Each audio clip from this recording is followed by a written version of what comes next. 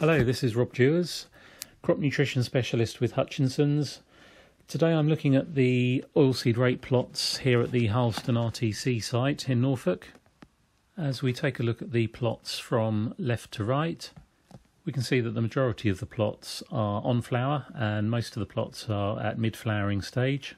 In the foreground, um, the main part of the crop unfortunately failed, um, and that was mainly due to the very wet weather conditions and also a particularly heavy uh, infestation of cabbage stem flea beetle in this field.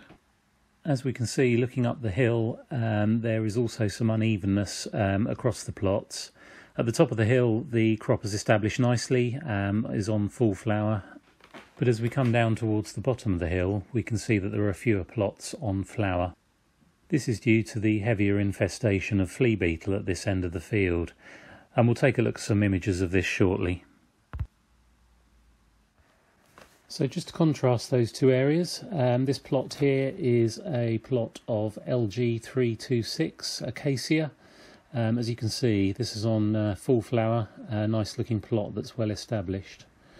Uh, the plot uh, a bit further down the row um, is a plot of Artemis and uh, this is looking really backward. As you can see no no flower or very little flower at all. Um, so just see the contrast between the two different plots. And here we can start to see the problems um, associated with these poorly uh, all these backward crops. Um, we can see certainly at the base of the plants in particular um, there is quite significant infestation of cabbage stem flea beetle larvae. Um, just breaking open some stems, we can see the larvae um, inside.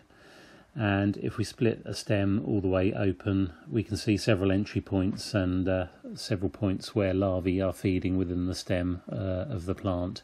And that's really having an effect knocking the crop backwards. So this just highlights the issues that growers across the country are having now in growing and getting high yielding oilseed rape crops with uh, these high levels of cabbage stem flea beetle. It's an issue that we're all striving to address.